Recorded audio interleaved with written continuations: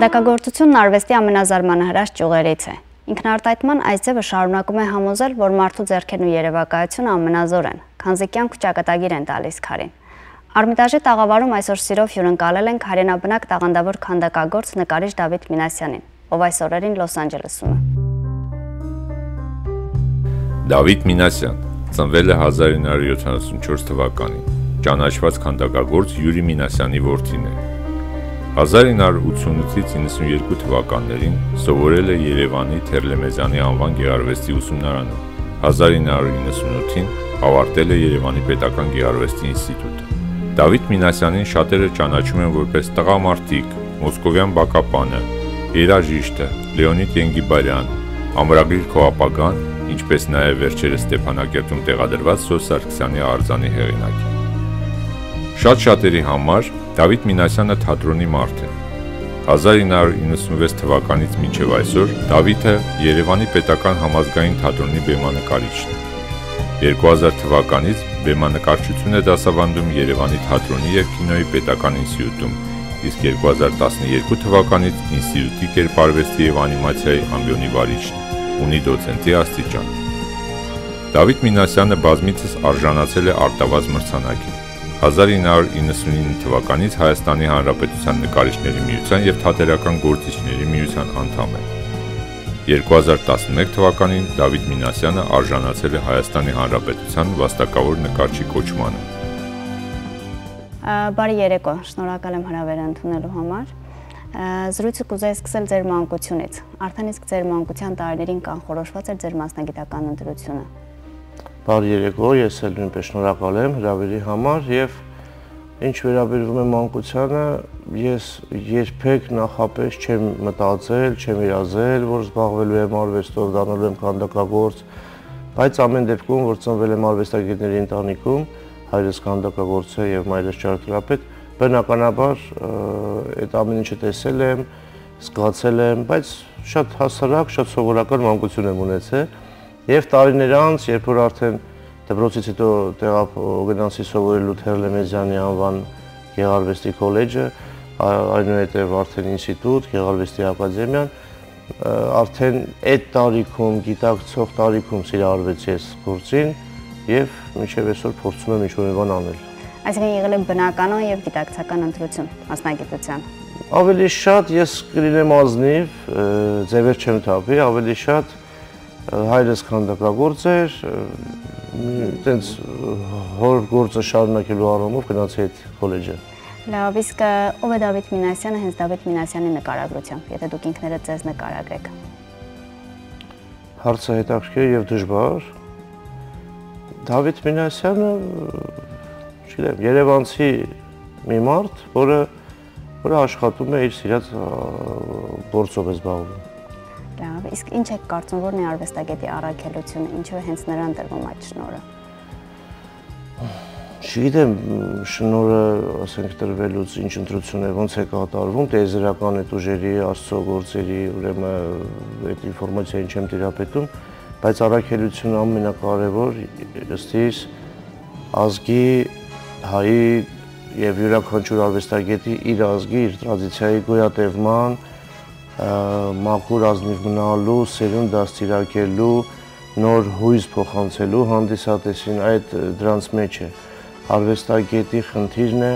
գեղեցիկը վերարտադրել նորից եւ կրկին հույզ առաջացնել,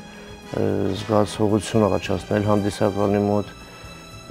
եւ թատրոնում եւ կերպարվեստում եւ հատկապես երաժշտությունը եւ եւ եւ բոլոր տեսակները ծառայում են մի գաղափարի ուրեմն համամարտկային գաղափարի, որն է ազնիվ, մաքուր եւ անկեղծ լինելը։ Այսինքն բավականին մեծ պատասխանատվություն է արվեստագետի ուսը։ Կարծում եմ, կարծում եմ, որովհետեւ պատասխանատվությունը այնքան կարևոր է, որ իրանք չունի որևէ արվեստագետ չփոխանցելու այդ ինչի մասին խոսում ենք սերունդներին, ընկերներին, անծանոթներին, որովհետև արվեստագետը պետք է իսկապես պետք է արվեստագետը լինի այնքան եւ զգույշ եւ համարցակ միաժամանակ եւ սրամիտ եւ ավելի բան լուրջ, ասենք թե մտիր մտքերի վերարտադրելու մեջ, որ չվնասի, որովհետև լինում են դեպքեր, երբ որ հակառակ էֆեկտ է ունենում արվեստի գործը, ապրանքը, որովհետև պետք է շատ զգույշ լինել եւ փորձել ամեն դեպքում մանավանդ մոնումենտալ արվեստը, մանավանդ մասսայական արվեստը, խաղարկային արվեստը, կինոն, թատրոնը, մոնումենտալ արձանագրությունը իրանք դաստիարակչական խնդիրեր ունեն։ Այսինքն յուրաքանչյուր արվեստագետ կատարելով որևէ աշխատանք իր միտքն է թելադրում կամա թե ակամա անցորդի, եթե մոնումենտալ քանդակ է միտեղ տեղադրված, այսինքն դա միայն զուտ այդ արվեստագետի երկրպագուները չեն, որ գալիս դիտում են, չէ՞, այդ շրջանով այդ փողոցով անցնող մարդիկ, տատիկները, թորնիկները անցնելուց իրանք ինչ որ մի բան ստանում են եւ շատ զգույշ է պետք լինել եւ շատ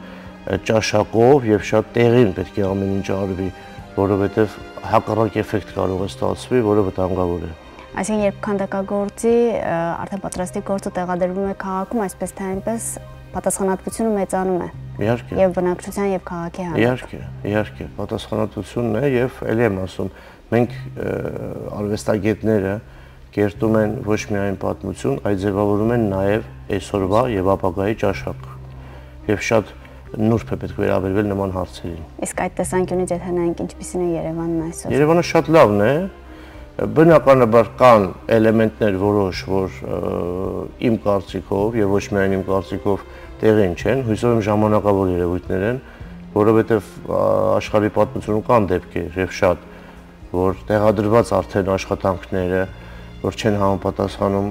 ժամանակի ուրեմն գաղափարին կամ էսթետիկական, գեղագիտական առումով նուրբ ասած այդքան էլ բարձր ճաշակի չեն, որ հանվում են եւ հույսով եմ կան մի քանի բաներ, որ ժամանակավոր են։ Բայց հիմնականում Երևանը շատ հզոր է, եթե կոնկրետ ավելի իմ բնակավարին մոտենամ, քանդակագործության առումով, շատ ամենահարուստ քաղաքներից մեկն եմ համարում, որովհետեւ մեր քաղաքում շատ լուրջ աշխատանքներ կան։ Մեր քաղաքում Երևան Քոչարն է քայլել եւ ստեղծագործել, Նիկոլա Նիկողոսյանը,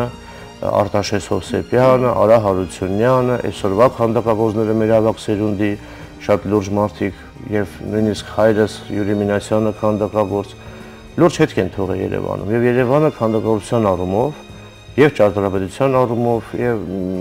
շատ միշտ բարձր մակարդակի է եղել եւ հույսով եմ որ դա շարունակվելու է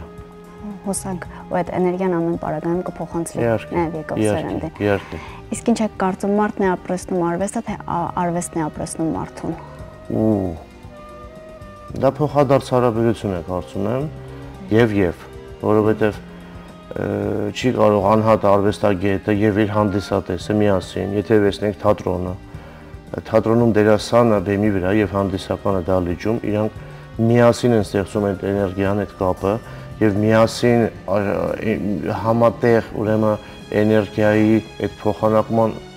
միջոցով է ծնվում իրական արվեստը եւ եւ բոլոր տեսակները արվեստի մարդը անհատը հեղինակը, կատարողը, երաժիշտը, երգահանը իրանք ապրեցնում են բնականաբար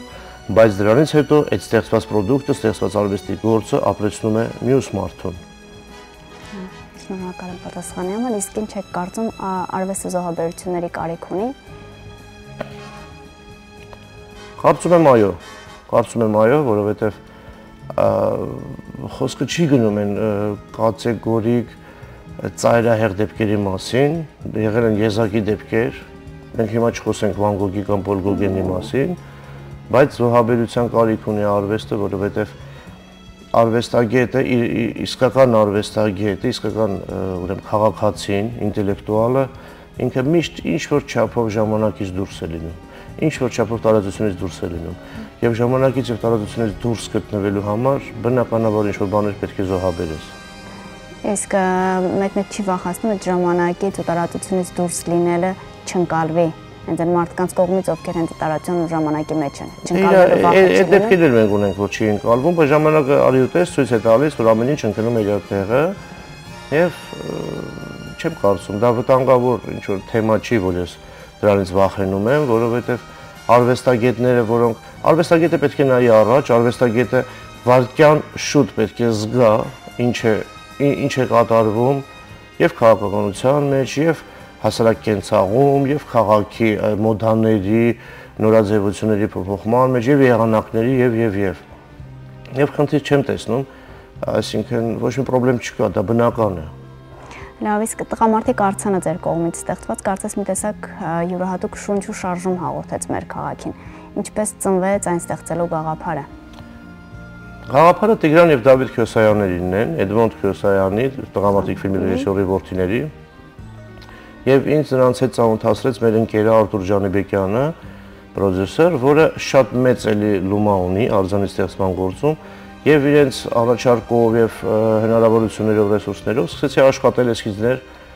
մի քանի տարբերակներից հետո կանգ առանք այս տարբերակի վրա եւ քանդակվեց եւ շնորհակալ եմ նրանց, որովհետեւ որ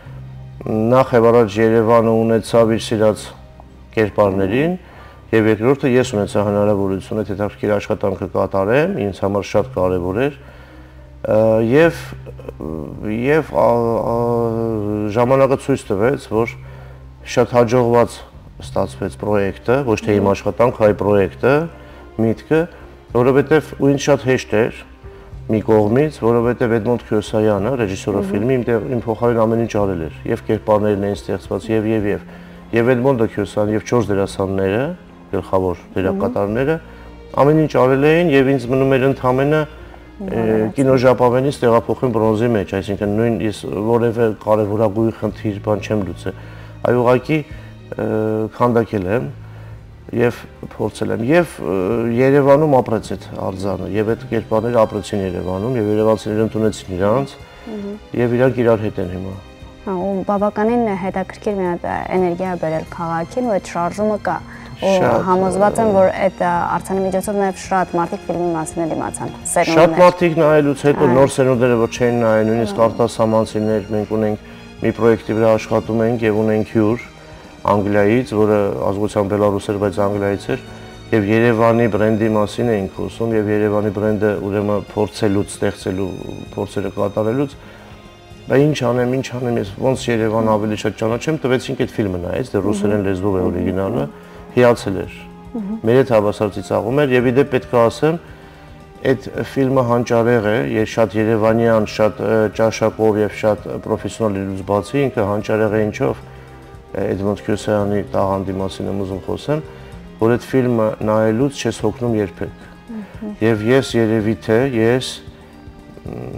կարծում եմ Էդմոնդ Քյոսյանից հետո ամենաշատը ես եմ դիտել այդ ֆիլմը, որովհետև մի տարուց ավել ամեն օր մի քանի անգամ նայում էի քանդակելուց, անգիր գիտեմ,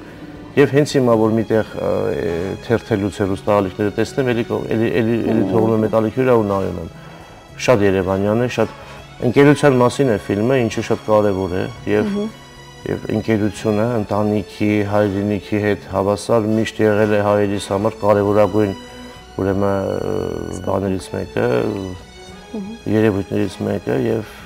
չես հոգնում երբեք այդ ֆիլմը նայելուց։ Շնորհակալ ենք ձեզ արցան ունենալու համար։ Նաև համազգային թատրոնի գլխավոր նկարիչն եք, ինչպես հայտնվեցիք թատրոնում ու արդյոք նկարիչ, քանդակագործ ինչպես են այս երկուսը ապրում ձեր մեջ, պայքարում են, ավելի իրար լրացնում են, շարունակում են։ 96 թիվն էր, երբ որ ես դեռ ուսանող էի Գեղարվեստի ինստիտուտի քանդակի բաժնում, ընկերս ռեժիսոր դեր ժամանակ Գեղարվեստաթատերական ինստիտուտը մի ինստիտուտ էր դեռ, եւ ընկերս հրավիրեց, որ մի բեմադրություն էր անում Հովանես Թումանյանի Թմկաբերդի առումը, եւ հրավիրեց, որ մասնակցեմ, որովհետեւ իդեա կար, որ կերպարների մեծ մասը լինելու են քանդակի տեսքով, ոչ թե դերասաններ, եւ որպես քանդակագործ ինձ հրավիրեց։ Երբ որ աշխատեցինք, հաջողվեց իմ կարծիքով գործը, ես ես էլ սիրահարվեցի թատրոնին եւ հետո առաջարկներ ունեցա նույն թատրոնում, համազգային թատրոնում էր դա։ Եվ գլխավոր ռեժիսորից, գեղարվեստական ղեկավար Սոր Սարգսյանից սկսեցի բարբերաբար ստանալ առաջարկներ եւ տենց շատ սահուն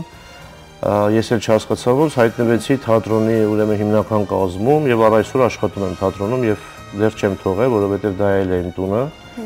Ինչ վերաբերվում է երկու տարբեր բնակավարներին, իրականում ասեմ, որ բեմանկարչությունը եւ քանդակագործությունը շատ ընդհանրություններ ունեն։ Երկու դեպքում էլ աշխատում ես ծավալների եւ տարածությունների հետ, եւ ծավալ եւ տարածությունը եւ լույս լույսի անկյուն ստվերը շատ կարեւոր են, դոմինանտ են։ Եվ ինձ իրականում եթե անկեղծ լինեմ, իրականում ինձ օգնեց իմ քանդակագործ լինելը թատրոնում եւ թատրոնով զբաղվելը քանդակագործության մեջ։ Իմ բախտը բերեց ստիս, որովհետեւ ես նոր որակներ զգացի, սկսում եմ ձեռք բերել, մի տեսակը արվեստի, մի ժանրը սկսեց օգնել մյուսին։ Լավ։ Իսկ դուք քանդակագործությունը օգտագործել եք որպես քարոշչա միջոց երբևէ նման նայած ինչ եք պատկերացնում քարոշչյան միջոց ասացի մեջ, որովհետև եթե քաղաքականության մասին է խոսքը դրա մասին չի, ինքնին արվեստը քարոշչյան միջոց է։ Ես չեմ ասում շատ պլակատային, շատ կոնկրետ, միցինգի ժամանակ սիրուն պլակատ բան, բայց արվեստը տղամարդիկ արձանը բոլոր հարցնողներին առաջինը պատմում են ում արձանը, տղամարդիկ դա ի՞նչ է։ Դա ընկերներ են։ Դա ընկերների մասին է։ Ա այդ մեր հրացանակիրներն են Երևանցի, այդ մեր ընկերության ուրեմն շատ լուրջ չափանիշն է, որովհետև ինչքան էլ իրոնիկ, ինչքան էլ ցիցաղելու դրվագներով ֆիլմ չլինի, այնտեղ կա շատ լուրջ, շատ շատ շատ ինքնազոհաբերության գաղափար, ընկերության ուրեմն այդ գաղափար եւ դա քարոշ չի, ինչի եթե դա քարոշ չէ եւ ընդհանրապես դա անկախ մեզնից է, դա անկախ մեզնից է, ծրագրի սկզբում դա էի ասում, որ արվեստը մանավանդ մոնումենտալ, մանավանդ երբ որ տարածքից դուրս ես գալի ցուցասրահից դուրս ես գալի արդեն էքստերիեր, փողոց, հրապարակ, դու պարտավոր ես մտածել նրա մասին, որ եկող սերունդ կա, փուջուր բալիկ կա, նոր ծնվող երեխա կա։ Մենք հայերս իրավունք չունենք շատ մենք շատ տարբեր տեղեր ընկնելու, շատ մենք խնդիր ունենք։ Մենք հայի պահպանման խնդիր նույնիսկ ունենք եւ դրա համար շատ զգուշ է պետք վերաբերվել։ Լավ, իսկ յուրաքանչյուր քանդակ ծնվելուց առաջ ինչ ճանապարհ է անցնում, այսինքն այդ խմորումը ինչպես է լինում, ինչպես է որոշվում, հետո ինչպես է ծնունդ առնում։ Հիմնական ձևը հետեւյալն է, որ էսքիզներ են կատարվում, մտածում է իդեան, ամենակարևորը գաղափարն է, որովհետև գաղափարը եթե չեղավ պինդ, ինչքան էլ լավ նման քանդակ ես, ինչքան էլ ուղակի քանդակ չի կարելի անել։ Չի կարելի ուղակի նման քանդակել։ Օրինակ, ես ինչ մարդու հուշարձան է, ես ինչ գրողի հուշարձանը, ուղակի նման չի կարելի քանդակել։ Պետք է գաղափար լինի, եւ գաղափարը պարտադիր չի, ինչ որ յուրահատուկ sense ինչ որ չափից դուրս խելար կոմպոզիցիոն լուծում абստրակտ այդ չի խնդիրը խնդիրը կարող է ինքը ուղղակի լինի հանգիստ կանգնած բայց դա էլ պետք է կրի իր գաղափարն ու իր ուժը, ինչի է այս կերպարը ուղիղ հանգիստ կանգնած, ինչի է այս մյուս կերպարը թրջում, ինչի է մի կերպարը ջարդրտվե 8 մասի դարը, այսինքն առաջի գաղափարը, ամենահիմնական գաղափարը դա գլխում կմտածի մեկը մյուսը թղթի վրա կնկարի մեկը գրի կապ չունի։ Դրանից հետո արդեն կատարվում են էսքիզներ եւ գտնվում են արդեն վիզուալ, հա, տեսողական ֆորմաների, շարժումների լուծումները եւ հետո կատարվում են մեծ աշխատանքը։ Իսկ ինչպեսին է զգացումը, երբ արդեն տեսնում եք պատրաստի աշխատանք հետ, ապրում ինչպեսին է։ Գիտեք, ինչ ամենա քանդակի մեջ ամենաշատը երկու ուրեմն փուլերի որ բաժանես արձանը ստեղծման ամենաշատը սիրում եմ այդ խմորումների գաղափար գտնելու, մտածելու, ուրեմն պահը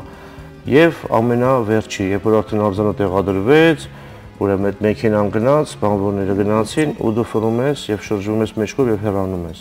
Շատ դժվար է, շատ ծանր է, բայց ամենաշատը դա է սիրում, ինչ առումով, որ դա արդեն քոնը չի, քեզնից փոկում ես։ Դա քեզնից փոկում ես եւ դրանից հետո դու տերը չես։ Դրանից հետո այդ պահից հետո արդեն չկա, մի բան փոխեմ, այսինչը դուրս չի գալի, մի քիչ գլուխը կշարժեի ցախ, էլ չկա, էլ քոնը չի։ Եվ դա մի քիչ տարօրինակ է հնչում, բայց դա թեթևացնում է, դա ինձ հնարավորություն է տալի, որ սկսեմ ուրիշ բան մտածել։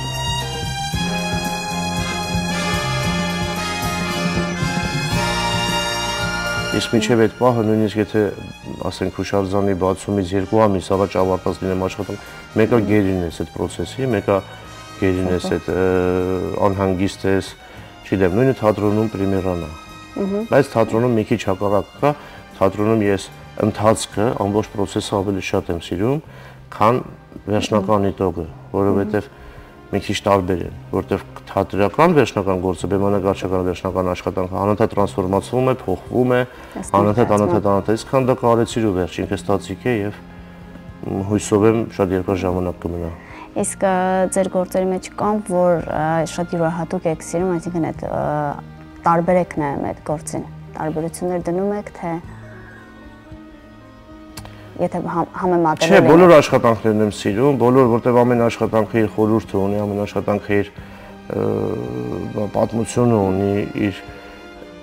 ես մենակ գիտեմ ու ոչ մեկ դա չգիտի, իր տարապանքը ունի կամ իր անհանգստությունը ունի, բոլորն էլ սիրում եմ, բայց կան աշխատանքներ, օրինակ եթե չասեմ հուշարձանների մասին եթե չխոսանք, Սոս Սարգսյանի, Ենգիբարովի կամ տղամարդիկի, այ խոսենք փոքրիկ աշխատանքների մասին, դա ինձնով չի պայմանավորված։ Օրինակ ունեմ աշխատանքներ, որ նվիրեմ, կարող եմ նվիրել կամ վաճառել, բայց ունեմ աշխատանք, որ մայրս տարիներ առաջ ասեց, սա չվաճառել, սա շատ եմ սիրում եւ վերջ։ Դա իմ համար արդեն տաբու է եւ խնդիր բնականաբար վերաբերմունքը այդ աշխատանքի հանդեպ բնականաբար ուրիշ կլինի։ Սոսարքսյանի արցանը կարծեմ վերջերս չէ Ստեփանավան Ստեփանավան քաղաքում իր ծննդավայրում ուրեմն պատվեր ունեցա եւ կատարվեց աշխատանքը տեղադրվեց հենց այն այգում որտեղ խաղացել է փոքր հասակում Սոսարքսյանը եւ ուղղակիորեն արձանից 4-ը տուն վերև այդ տունն է որտեղ ծնվել է վարպետը վերադարձ աղել եւ եւ շատ խորհրդանշական բան պետք է ասեմ ձեր վերադարձը ուրեմն այդ բառի հետ կապված իր ծննդյան օրը արձանը Երևանից եկավ այդ իր փողոց ու տեղադրվեց հենց իր ծննդյան օրն ենք մենք տեղադրել եւ երկու օր հետո հոկտեմբերի 26-ին բացումը եղավ արձանի Դուք նաև դասախոսում եք, կուզեի ձեր կարծիքը իմանալ եկող սերնդի մասին։ Այսինքն ունենք այն սերունդը, որ պիտի շարունակեն այդ արվեստագետ կոչված առաքելությունը։ Բնականաբար ունենք սերունդ, ունենք տաղանդավոր երիտասարդություն, ունենք ընդհանրապես հայը տաղանդավոր գեն ունի,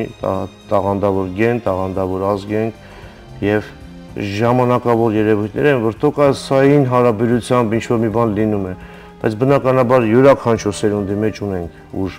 ունենք ճաշակ, ունենք ինտելեկտ, ունենք արյուն եւ այս ազգը, որը չի կորցրել իր այբուբենը, որը չի կորցրել ազգանունները, որ որ որ որ հնարավոր չի կորցնի իր տաղանդը շատ քիչ ազգեր կան եւ դրա համար եմ երևի հայի դեմ շատ բաներ ուղված այս 100 եւ ավելի տարիների ընթացքում բայց մենք ունենք շատ շնորհալի երիտասարդներ ժամանակավոր մի քիչ տոկոսային հարաբերությամբ տեղերով փոխվել են առաջ շատ շատ էր լավը մի քիչ կար, հիմա մի քիչ տոկոսային փոխվել է ժամանակավոր երևույթ է յուրաքանչյուր ուրեմն ֆարմացիաների հեղափոխություններից յուրաքանչյուր քաղաքական ինչ-որ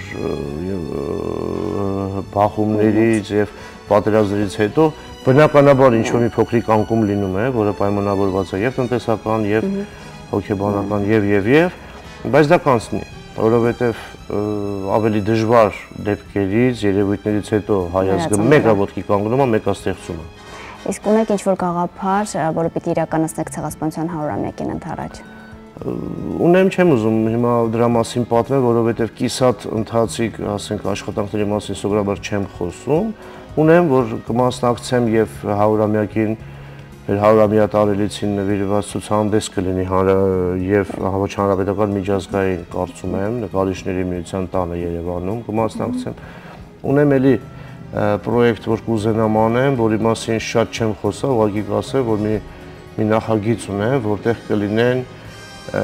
մեր բոլոր եւ կլինեն մեր ուրեմն նահատակված բոլոր մեծերը, Սևակը, Արուժան Կոմիտասը եւ եւ եւ բայց կլինի նաև եղերնից հետո 100 տարվա մեր վերածնունդը, որը շատ կարևորում եմ, որովհետև չմոռանալով ուրեմն մեր 1.5 միլիոնը պետք է հիշել եւ աշխարհին քարոզել նաև, որ մենք հանձնվողը, պարտվողը չենք եւ մենք շատ էլի լուրջ բոլոր երկրներում, համարյա թե բոլոր երկրներում, բոլոր հայկական գաղութներում մենք ունեցանք շատ լուրջ նվաճումներ։ Ահա լավ եւ հաղորդման վերջում երեք ավանդական հարց, որ տալիս ենք բոլոր հյուրերին։ Որն է հաջողության հասնելու ձեր բանաձևը։ Աշխատանք։ Ունեք սկզբունք, որով առաջնորդվում եք կյանքում։ Փորձեմ կարողանամ բոլոր հորս, պապուս, նախնիներիս ինձ հասած ամեն ինչը, ազգանունը, ինֆորմացիան եւ այլ եւ այլ կարողանամ փոխանցել որդուս եւ շարունակվի։ Լավ, իսկ ձե ըստ ձեզ որն է հայ մնալու գաղտնիքը Սփյուռքում։ Լեզու, մշակույթ, ընտանիք, հիշողություն, պատմություն։ Լավ, շնորհակալ եմ զրույցի համար։ Շատ շնորհակալություն։ Արվեսը նշանակում է ամեն ինչ կամ ոչինչ։ Վիլյամ Սարոյանի այս տողերով էլ այսօր կավարտենք մեր հանդիպումը։ Ապրեք արվեստով եւ արարեք բարին։